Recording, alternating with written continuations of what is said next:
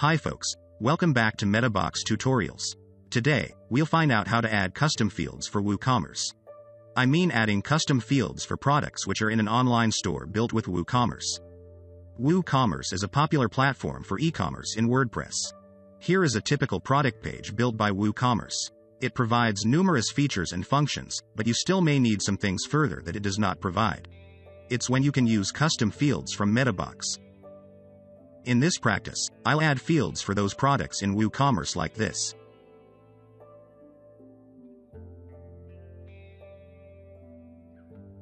First, we absolutely have WooCommerce to create and customize the online store.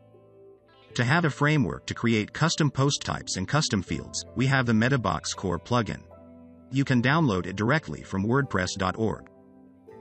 We also need some MetaBox extensions to have some advanced features. You can install them individually or use MetaBox all in one.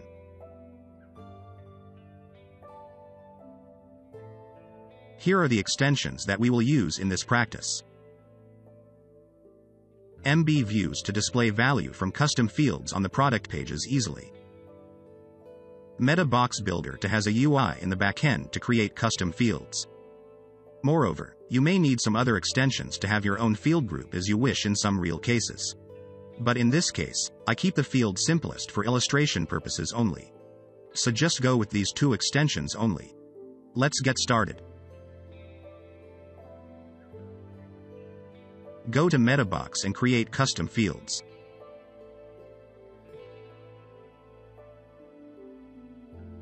As I said, I will create some basic fields for illustration purposes only.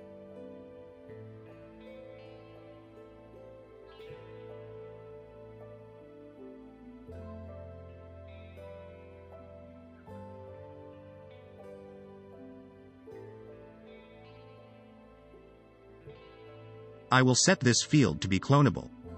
So you can see clearer on which is the difference when displaying it in non-clonable field on the product page.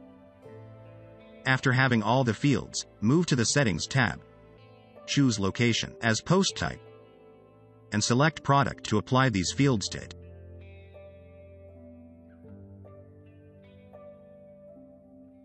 Pay attention that this post type is auto-generated by WooCommerce. It is not the post type created with MetaBox.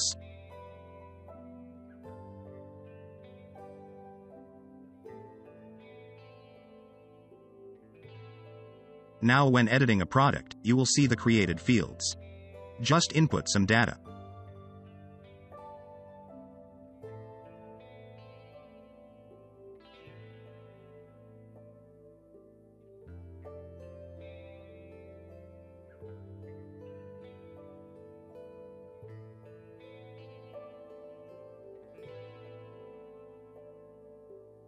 Normally, you should add code to the themes file to display values saved in custom fields on the WooCommerce's product page.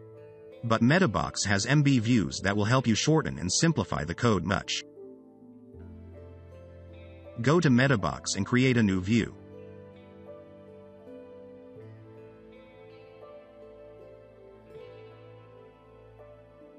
Just click on this button and look for the fields you want to display on the product page.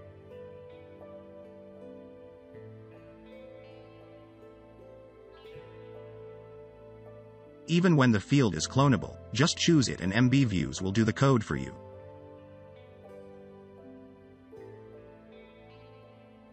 Your work now is just separate them in div tags and name some classes for styling using CSS if needed.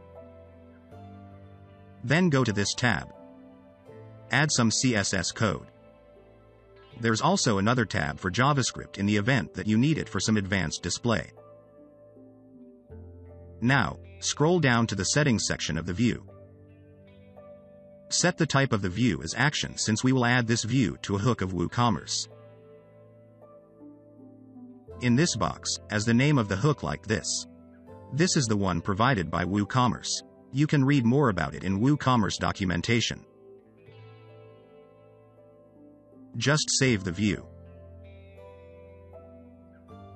Go to a product page, you will see information from custom fields displayed. These are from two fields that I created. That's done in the end of today's tutorial. If you want to try more, Please watch other tutorials on this channel. Remember to like, share, and subscribe to us for more tutorials. Bye.